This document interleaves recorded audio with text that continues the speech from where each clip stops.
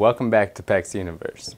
We just wanted to jump in real quick and show you a quick little tutorial slash and tell you the differences between normal couplings and transitional couplings.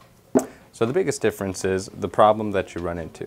Normally if you have an older house or you have a setup to where you have two different types of pipes that you need to connect, you can't just use a normal coupling to do so. Say you have copper to PVC or maybe even cast iron to PVC or cast iron to copper Whatever it is, if you put a normal coupling on there and tighten it down, since the coupling is made for the same diameter on both sides, it'll start to warp. Once it starts warping, you can't create a watertight seal or an airtight seal. So you want to make sure that you're getting the right coupling for the right job. That's where these transitional couplings will come in though. When you look at a transitional coupling, it'll tell you on here from one and a half, you know, say copper or plastic to one and a half copper or cast iron or whatever you're looking for. But you can tell that on the inside of here, one side is thinner and one side is thicker. That's to make up for the difference in the diameter between the copper, where you can see it's a smaller diameter, versus the PVC.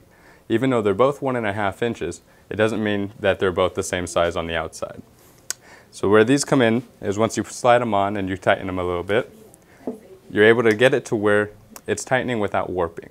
But since this doesn't tell us where our pressure is at, we're going to go until it's nice and firm and doesn't want to spin anymore, but we're also not trying to break the screw. You do have options to get a clamp torque wrench. When you get to 60 pounds of pressure, instead of it continuing to turn, it'll click on you, and that's how you know to stop. When you're looking at the difference in diameter, you can tell that this side has a thicker wall compared to this side, which has a thinner wall. That's because the PVC that you're connecting to, or maybe even the cast iron, has a thicker diameter than the copper on the outside even though they're both one and a half inch on the inside. And that's where this coupling is able to come in handy because it'll make up for the difference in that outer wall here. And it works for all sizes. If you understand it for one, you understand it for all. This side is thicker, this side is thinner.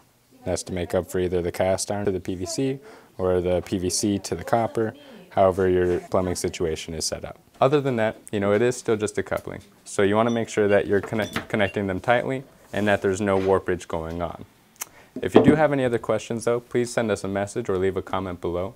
If you found this video to help you out in any way, please just leave us a like and subscribe, and also click that notification bell. Until next time, I'll see you in the next video.